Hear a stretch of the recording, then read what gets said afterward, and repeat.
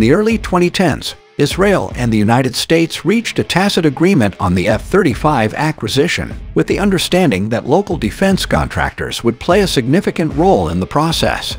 Since F-35 export models had minimal country-specific changes, this was unusual.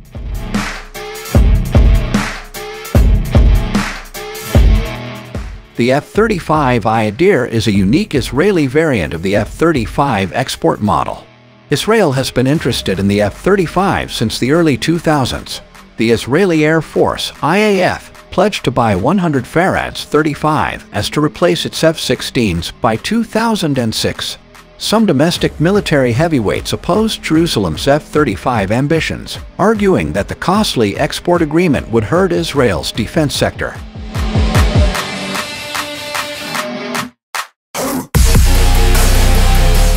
Finally, in the early 2010s, a tacit compromise was reached.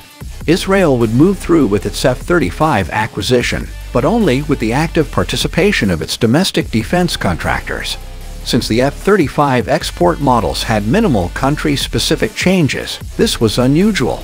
The Pentagon hates even minor foreign alterations to F-35 export batches.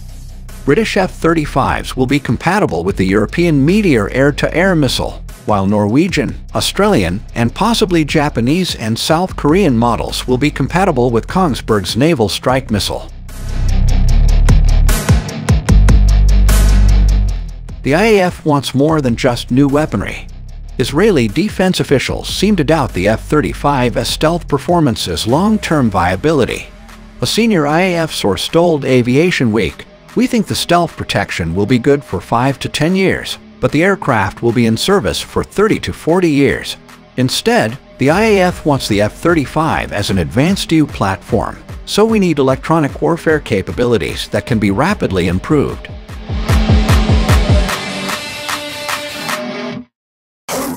The basic F-35 is fine. More software will do. Jerusalem offered to layer the IAF SU adjustments on top of the F-35's current avionics instead of modifying its fundamental systems, something the U.S. didn't like.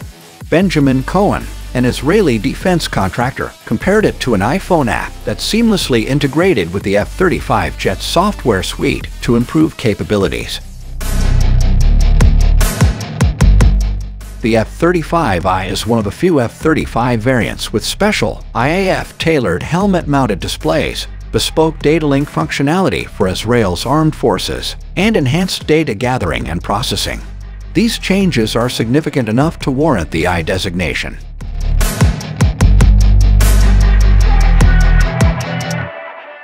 The F-35I will carry Israel's Spice 1000 bomb kit as planned, though the F-35 contract between Jerusalem and Washington is unclear. Israel is pushing for even more Pentagon concessions, including permission to independently perform heavy maintenance and some major external modifications.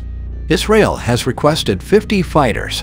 The purchase discussions call for 19 F-35A versions and 31 F-35I models.